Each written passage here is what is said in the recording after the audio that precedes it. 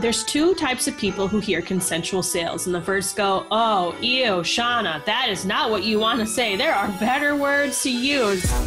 And the second type hear consensual sales and say, You know what? You're right. I don't want to talk my way into the sale.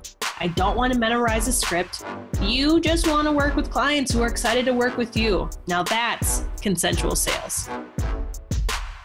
I don't have like a crazy over the top introduction. I really just like want to jump in because let me just say this.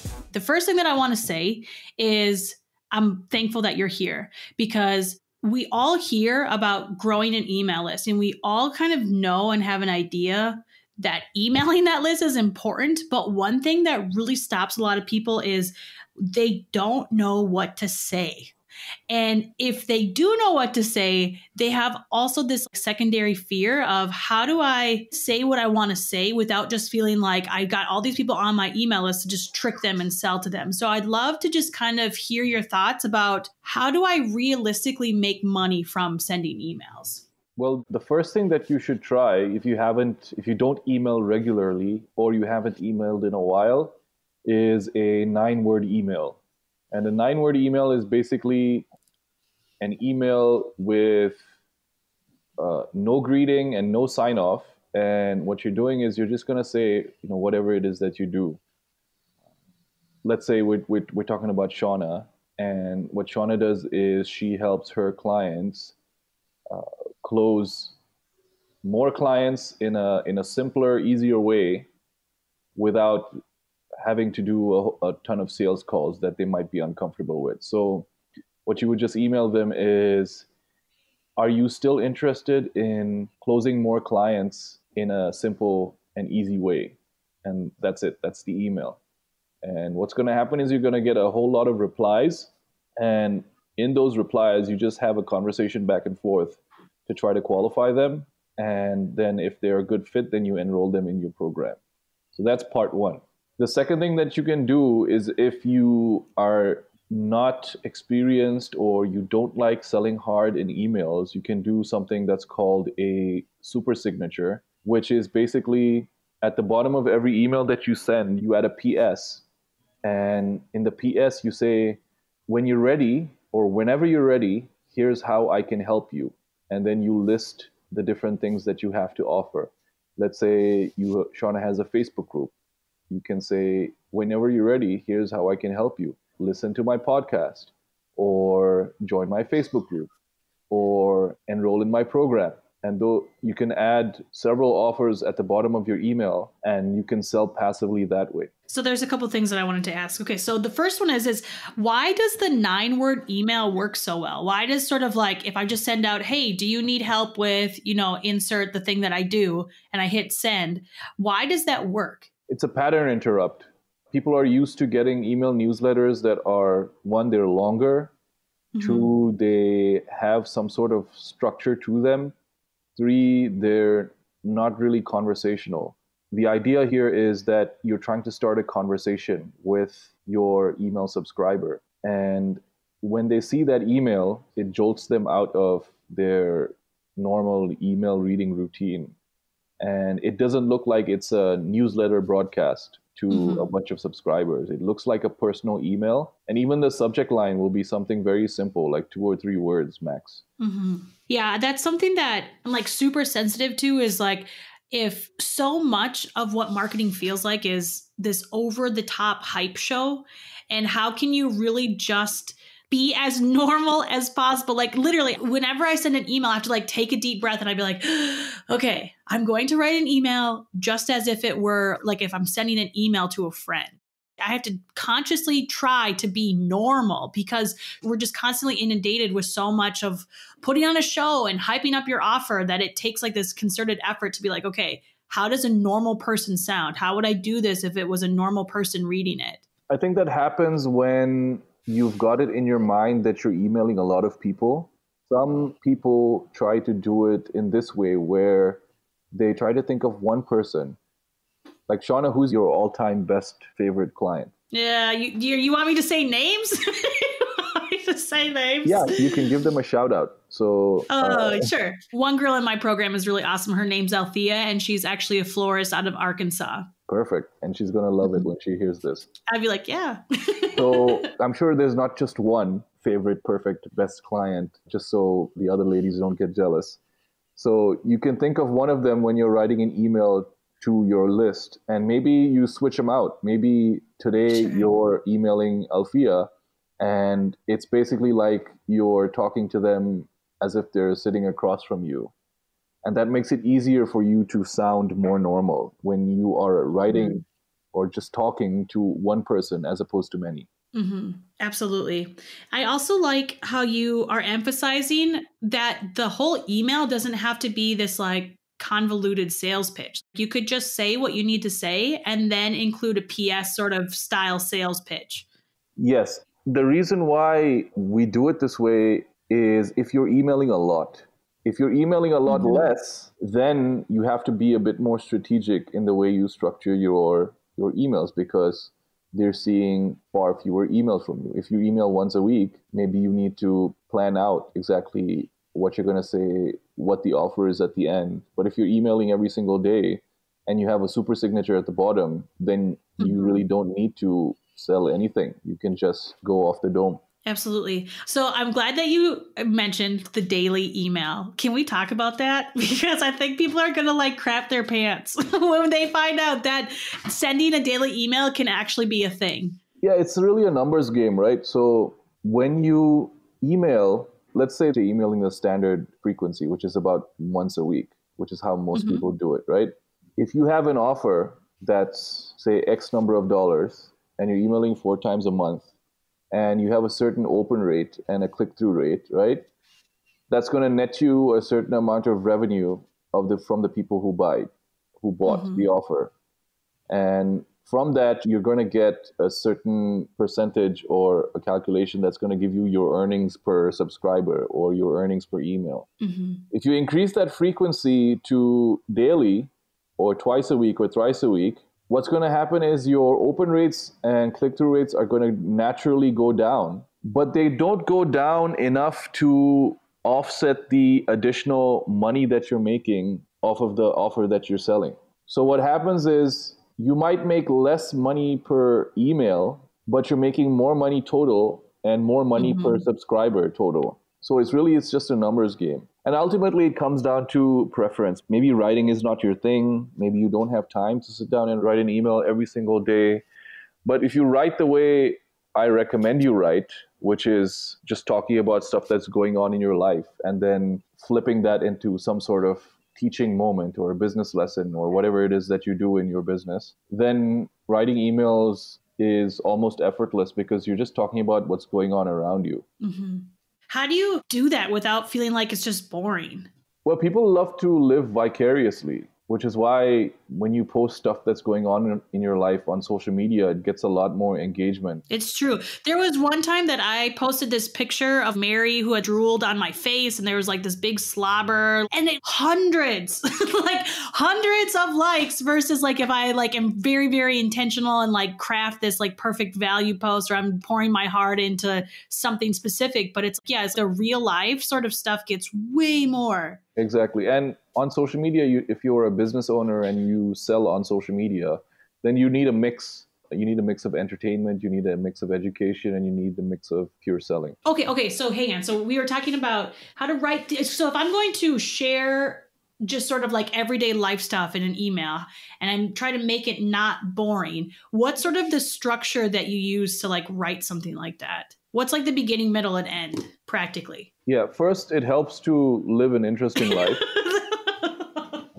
this is true. And it, it depends on your audience, right? So, Shawna, you attract a certain kind of audience online because of how you show up. You're a mom with many children and you run your own business, and that's going to attract a certain kind of audience to you. Sure. So they're attracted to you because they find you interesting. So you can talk about whatever that's going on in your life and whatever that's going on around you that's going to be interesting to them. And you also have to start being a little bit more detached and self aware about the things that are going on around you with what I like to call content mindset, because everything is content. And you have to be looking for moments that happen during your day where you're like, oh, that would be a great email so that's that's where it starts. It starts with that that thing that happens during your day that gives you that spark okay i can make a nice email out of this Mhm. and even if you don't have that idea you can still sit down at your computer and just start writing yeah. after a few minutes of writing, you'll start to see a thread emerge and you can pull on that thread. And if you keep pulling on that thread and keep writing, suddenly you have a story. And once you have the story, all you have to do is segue into something that you can teach or some sort of benefit that you can pull from the story. And you get better with experience. In the beginning, the segues are going to be a little bit ham fisted and abrupt. But as you write more emails, as you send more of these emails, and this is one of the reasons why sending emails daily is good because you get a lot of mm-hmm. practice. As you get better at writing these emails, you will get better at that segue. And once you have the segue and once you've transitioned into the teaching moment, then finally you have the close, which is another segue, where you will find a way to re- relate that story and that, that teaching moment to the product or the service that you have to offer. Yeah, I'm glad that you said that because it's interesting. I didn't know that that was like a thing, but I do something very similar where it's like, okay, I'm curious about this circumstance or I'm going through this experience and I like I try to write the story and then only after that point do I try to figure out okay, what's the nuance here of what I can share and pack the most punch. Exactly. There's something to be said about writing those daily emails or writing on a regular basis that makes you a better communicator. It's like the more that you communicate and are trying to get your message across, it actually brings more of the clarity that you need to have a compelling message or to write with more ease. Yes, that's correct. And often we have these ideas floating around in our head, and there are a lot of ideas. We get ideas for content, we get ideas for how to get better results for our clients, we get ideas for how we can teach something to people, but we never get those ideas out of our head. And because we don't have practice getting those ideas out of our head, that's why Mhm. writing is difficult. And the more you do it, the better you get at the skill of putting your ideas out into the world or onto a piece of paper or onto an email. What is an idea that you have had or you've wanted to communicate more effectively and writing had helped you clarify those things? When I started writing my book, Is this the dragon energy? yeah, it's Dragon Energy. It's still not finished yet. I still haven't gotten around to finishing the last two chapters. When I started writing my book, I have these theories in my head about how to market yourself or build a brand online and how to sell and how to create content. And the exercise of trying to put those ideas down into a first draft helped crystallize those ideas. And now it's much easier for me to explain those ideas to people when I'm talking to them, whether I'm on a sales call or whether I'm, for example, doing a podcast or doing a live training with somebody in their coaching group. It's become easier to express those ideas.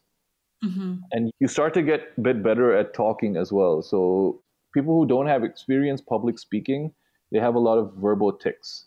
And one way to get better at that or reduce the amount of verbal tics is to get more experience public speaking or more practice public speaking. You can also do this by writing a lot because what will start to happen is your words will start to come out as paragraphs and pre-written sentences hmm as opposed to a stream of thought with a lot of verbal tics What do you think about going with Althea, for example? So she's a florist, right? What kind of daily email like work for somebody like her who just has sort of these people who come to her for like weddings or it's a very seasonal thing? Maybe if you're a photographer as well. absolutely she doesn't have to sell anything she doesn't have to sell hard like she doesn't need to write like a vsl or a long form sales page to sell flowers Sure.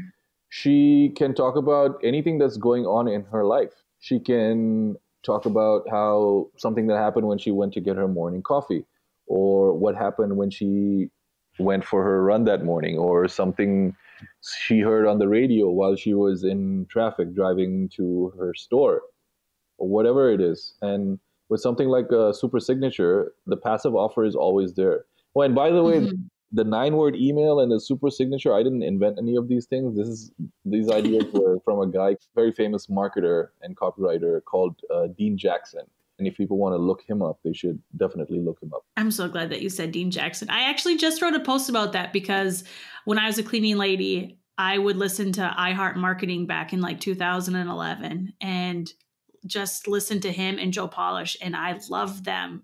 I'm glad that you know them too because they have some really great principles that I still use in my business. Okay, so what I'm sort of drawing from what you're saying is that you want people to get used to hearing from you, right? Exactly. And they've given you their email address either because they're a customer already or they've opted in somewhere, which means they've raised their hand and said, Yes, I would like to hear from you. And if they don't mm-hmm. want to hear from you, they can unsubscribe. So, this idea that, oh, I don't want to bother people by emailing them too much is a misnomer in fact, mm-hmm. if people stop reading your emails, you can always prune them from your list by cleaning the list of the people who haven't opened emails in a while, which is what you, on that screenshot you shared with me of your email marketing stats, which is what basically you did. And mm-hmm. the graph, I'm sure we can put it in the show notes for people to look at. You can see the trend of people seeing that you're sending way too many emails, and the people who didn't want to be on your list and receive that many emails they unsubscribed and your list size tanked and then it slowly started to grow until now mm-hmm. which is now your email list is much bigger than it was before you started the daily emails yeah there's so many times where i feel like there's somebody that i spoke to or there's something that i opted in and then i can't remember their name or i don't remember like the nuances of the offer and i'm trying to find that person and they just like disappeared and it's like i your clients, your customers may be actually waiting for you to follow up and send them an email. Um, like, so the other side is absolutely true. Yes, that's absolutely correct.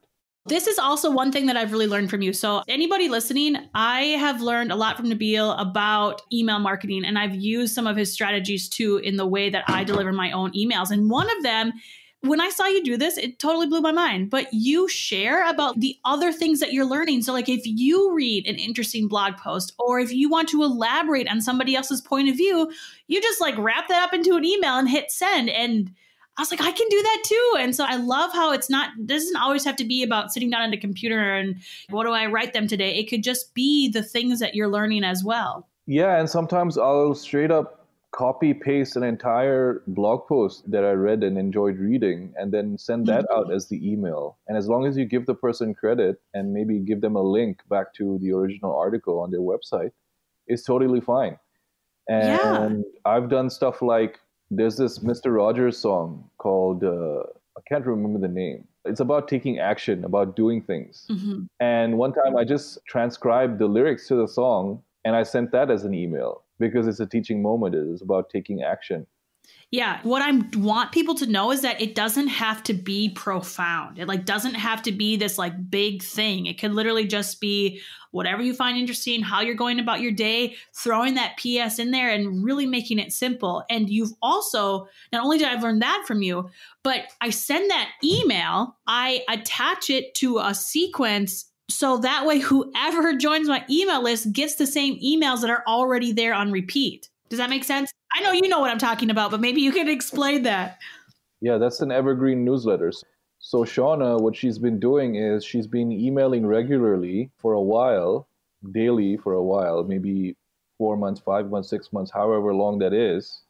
And then what she's going to do is she's going to take the best performing emails the ones that get the most opens or the most sales or whatever that is, and then put that into an automated sequence, which becomes an evergreen newsletter. So whenever somebody new comes into your email list, they can receive those top performing emails, your best emails, mm-hmm. on an automated drip sequence. Yep. And I've also been able to attach like the podcast interviews I've been on or the blog posts that I've written. So rather than just sort of doing this like flash pan content where it's like one and done, I take it and I plug it into an email and then it's all just automated. So anytime somebody comes into my email list, they've got this rotating emails of my pieces of content, right? And because you were proactive in doing that, now you can write fewer emails. Yes. You don't have to write every single day now and you can focus on waiting for that really profound moment to to strike and where you get a really great idea for an email or a piece of content and then you can write that up and send that and then once you've sent that now you can add it to the evergreen newsletter as well it also makes me like a better seller too. So I can go through all the emails and see what the best performing headlines are. So then that helps me sell more of my offers, what people are interested in, what's the highest click rate through. It just gives me more tools to be able to sell my stuff effectively. And side note, I actually, one of my best performing like social media posts was where I took my emails, I looked through all the automations and I said, okay, out of all these emails, these are the top five best subject line open rates. And I put that out there, and that was something that people really enjoyed too. So it just overall becomes a bigger part of the way that I sell, right? Exactly. And then if you're in the the business of helping people uh, with marketing or sales, now your email marketing itself becomes a teaching tool and another yeah. value add that you can offer your audience. I know I mentioned this before too, and this is something that I wanted to kind of drive the point home too is that not everybody is ready to buy your offer the moment that you put it on the table, right? There's some people who maybe the timing isn't right. And so what you're doing by incorporating like an email strategy where you're emailing them consistently is trying to hit them at the right timing when it's important to them, when they're ready to buy. Yeah. And this is another benefit of emailing more frequently, whether that's three times a week or every single day, is that you're always top of mind. And also, because of what you mentioned that people aren't ready to buy some people aren't ready to buy immediately i've had people mm-hmm. who've been on my list like a whole year before they actually booked a sales call with me to try to find out about whether i can help them with their copy now mm-hmm. having said that i've seen some data from people who are far more advanced than me ramit sethi specifically where he says that if a lead or an email subscriber doesn't buy within the first 30 days of them being getting on his list that the conversion rate for that subscriber tanks. Interesting. It drops off a cliff. Okay. So this strategy of regular emails of email marketing in general the fuel for the strategy is adding new subscribers. Because yeah. what's going to happen is once a person has seen a lot of emails or eventually they're going to go stale and when they go stale, what I recommend is that you get them off of your list. But some people will still keep them on in the hopes that they eventually might buy. And the sign is that you need to get them off the list is when they turn cold and they stop opening and reading your emails. If they are opening and reading your emails, then there's a sign that they're still interested and they might convert down the line. Mm-hmm. But for the most part, yes, people will convert in at varying times some people need maybe years to be in your orbit before they take action and buy. However the better customers or clients are the ones that convert soon after coming into your ecosystem. Mm-hmm. do you have sort of overall recommendation of what those first 30 day emails should look like or maybe even like the first week or two? Yeah so once you've got your evergreen newsletter set up you've got your best performing emails in there that's basically it. Once you get a string of 30 emails uh, for that mm-hmm. automated newsletter, you're pretty much good to go. And then yeah. the benefit of that is that you know that once a person has been on your list for longer than 30 days and they haven't bought, the likelihood that they're going to buy is much less. So you can put less effort into nurturing that prospect. I see what you're saying. How are you getting people on your email list? I've stopped promoting my email list for a while now because what happened was I populated it with unqualified prospects. Sure. And it's very easy to grow an email list. You can do it straight from your social media, straight to a newsletter opt in without offering any kind of lead magnet. I used to do it on Twitter where I would announce the daily email that's going out a half hour or 20 minutes before it was scheduled to go out, or sometimes an hour and that you can create some sort of curiosity around the topic of the email and get people to sign up that way. And that grows your email list very fast. The problem with that is that you're going to get unqualified people on your list. So sure. what you want to do is you want to create a barrier to entry. You want to create some friction. And the ideal form of friction for people on your email list so that it is populated by only buyers is to get them to buy something before they can get on your list. Ah. So if you have some sort of front end offer that you can sell them, or your core offer that you can sell them before they'll get on your email list, then you know that's something that you should do, and that's the ideal scenario. But not everybody can do that. Instead, what most people will do is they'll create a piece of content that somebody can get if they give up their email address or in exchange for their email address. And most people think that the offer is being protected by the opt in form, but it's actually the other way around. The opt in form is being protected by the offer. And what that means is you want the offer to be gold to your perfect audience and shit to people who aren't your audience. Sure. So you're saying that you want to kind of create a little hoop for people to jump through, right? Yes. Okay. How do you reconcile that with making it super, super easy for people to buy your stuff? Because I was under the impression that you want to make it really seamless. That you want to make it seamless after you've qualified that they're a good fit for you. Sure. If you make it seamless before qualifying them, what you're going to end up with is a lot of unqualified prospects. Mm-hmm. It doesn't always have to be a, a content offer or a lead magnet. There's an email copywriter or a marketer named Andre Chaperon. His newsletter opt in is buried deep within his site. And you have to basically read several pages of his content before you even find the email opt in. It's, it's almost hidden, like seven pages deep on his website. And that's the way he creates the friction uh, to people getting on his email list. So there's a bunch of different ways you can do it. My favorite way, which I haven't fully executed on yet, is making people buy or pay to get on your email list. And people do that with paid newsletters. I'm not sure that's a good idea. I think a better way would be to offer them some sort of product. That way, you know that these people are buyers who are willing to give you their money. That's interesting. I wonder if there's a way that I could do that for myself. How do you see it playing out for yourself? Well, once I finish the book, I could probably use that as the the main way for people to get onto my list. I was also mm-hmm. toying with the idea. I have a few long form content pieces, so like webinars or whatever, that I've done with other people that I could use. I could probably package those up and sell for a maybe like a seven dollar offer or a thirty seven dollar offer or a forty nine dollar offer, and that sure. would be like the only way for people to get on my list. Interesting. I'll have to play with that. Thank you for sharing that. Yep. All right, let's go ahead and try to wrap this up here. But I'm curious to know, like, who is your ideal client? Who are the people that you love to work with, and what do you love doing? That's difficult to define now. sure. Um, or projects. Maybe we're similar in the sense of like the ideal person may not totally exist, but maybe you love certain projects. Well, I mean, as far as clients go, my favorite clients are the people who understand what is required of them when working with a copywriter. And those people sure. are few and far between.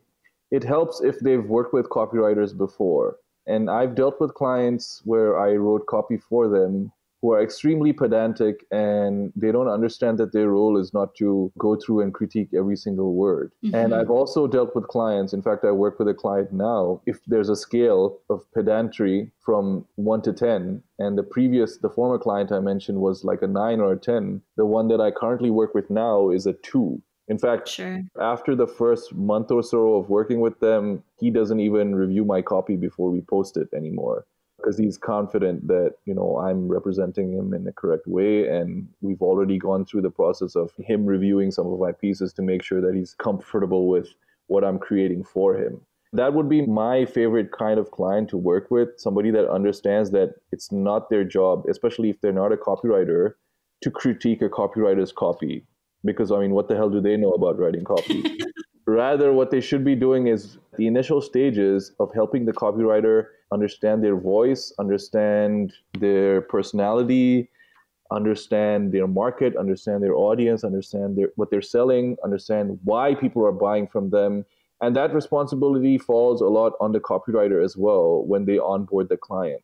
So that's where the client's responsibility comes in to sort of manage the copywriter. But after that, after you've hired the copywriter and you say, okay, I trust you to write my copy for me, it's much better for the client if they actually let the copywriter do their job.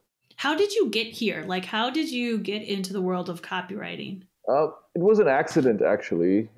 I used to do some volunteering for this community center, and because I was out of our group, I was probably the best at writing or with the English language it sort of fell to me to write their email announcements for their events and sure. you know write collateral for their marketing posters and brochures and things like that. Mm-hmm. And at some point, I got introduced to Ramit Sethi, and Ramit is a an accomplished copywriter himself. I didn't know that he did copywriting. He talks about it actually. He mentions it several times on on videos and things like that, where he talks about at one point he said i'm going to get really good at this thing called copywriting and i sat down and hand wrote all these sales letters. So he he talks about that in a way. Oh sweet. And after getting introduced to him i got introduced to the the entire world of online business and digital marketing in general. He was my first introduction to the you know the online entrepreneurship space.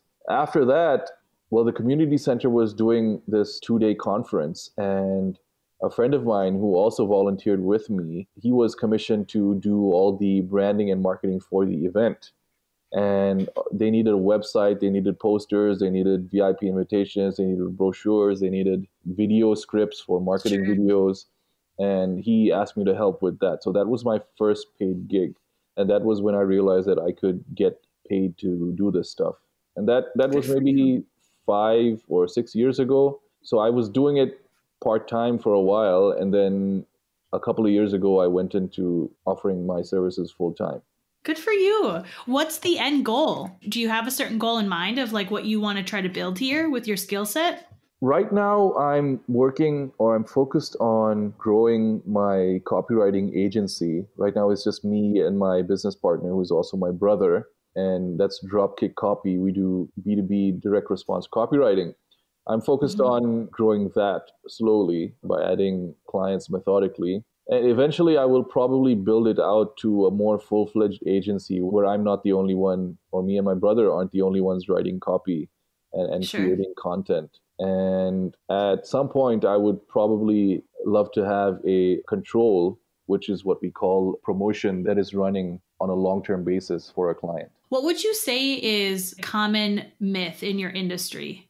Well, I mean, a common myth, well, there's two myths, okay? The first myth is one that business owners have where they think that they can't write, they can't write copy or they can't teach themselves to write copy. But the thing is, they've written hundreds of pages, perhaps thousands of pages of social media posts and text messages.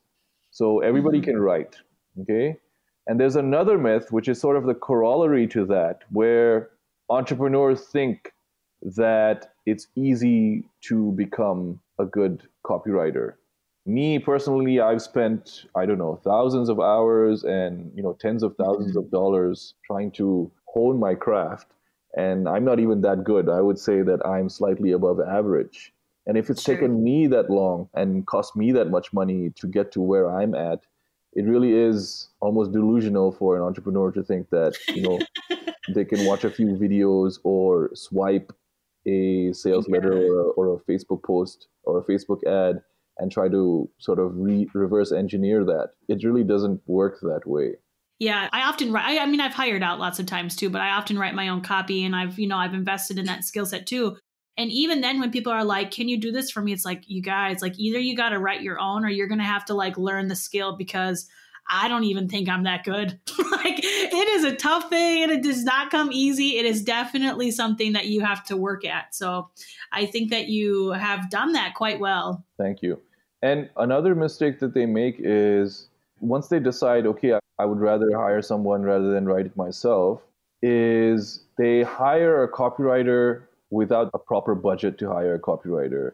This is where the line gets kind of blurry, where actually, if they're going to go with a cheap copywriter, I would recommend to the entrepreneur to pay themselves that money and set aside some time during the week to teach themselves or learn the skill of copywriting as opposed to hiring a copywriter off of Upwork or Freelancer or Fiverr for a pittance and then getting low quality work in return. Yeah, absolutely. I'm so glad that you said that because it's still like a lifelong skill. Like you said, you're always writing, you're going to keep writing that you might as well like if you can't if you can't foot the heavy bill, then just work on create developing it yourself. Yeah, and it doesn't take that long to get halfway decent to writing for yourself. you know. But at some point, when you need more expertise to actually sell using copy, that's when you need to bring a professional copywriter in.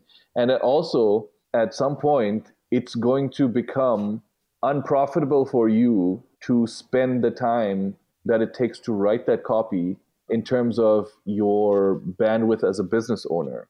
As your business grows, you're losing money because as your business grows, as your revenue grows, as your effective hourly rate you make as a business owner grows, now it's not worth your time to sit there writing copy when you can hire somebody else to do it. And that's really the time when you should bring in an outside copywriter. And that's what happened with one of the clients I am working with right now. He's a competent copywriter on his own. He's actually spent some time studying how to write copy. He's hand copied sales letters and stuff like that. And as he was growing his business, he realized that, okay, I need this copywriter and I don't have the time to do it. It's time for me to hire someone. Where can we give us your details? Where can we find you, talk to you, speak to you? Yeah, you can check me out on dropkickcopy.com. Just uh, browse through the website, and our contact details are on there. Awesome. All right. Thank you so much for sharing all of this good stuff. Until next time, thank you for listening.